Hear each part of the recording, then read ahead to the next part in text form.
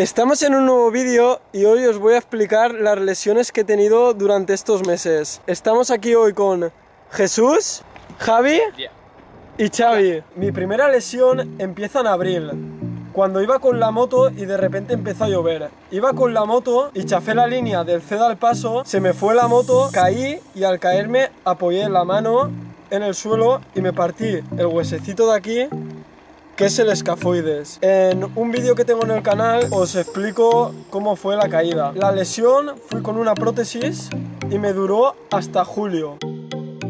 Esto viene con mi segunda lesión. Después de llevar la escayola, una semana después de que me la quitaran, me fui al Pouklar, al río de nuestro pueblo, con Jesús y Javi. Estábamos bañándonos cuando me tuve que ir a trabajar. Me bajé con la bici y llegué a una zona que estaba en obras.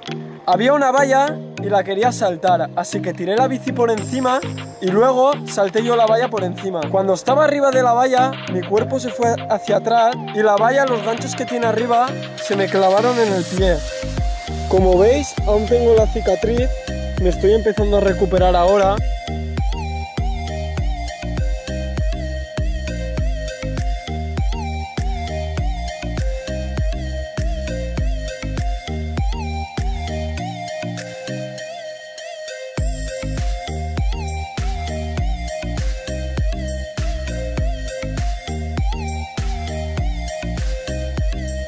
Esto llega a mi tercera lesión.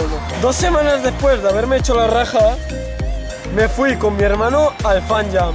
Nada más entrar al fan jam, sin calentar ni nada, quise hacer un piru y caí en la esponja. Al salir de la esponja, se me quedó el pie así bloqueado y no lo podía mover. Estuve ahí sentado mirando a mi hermano y grabándole cómo hacía sus mortales y nos fuimos a mi pueblo. Una vez en mi pueblo fui al médico y me dijeron que me había salido tendinitis. Unos días después aún no podía mover el pie, así que fui al fisio. El fisio me puso el pie al sitio y me ha dicho que estas semanas vaya al hospital a que me haga placas y mirar cómo tengo el pie. Ahora Javi nos va a hacer algún mortal.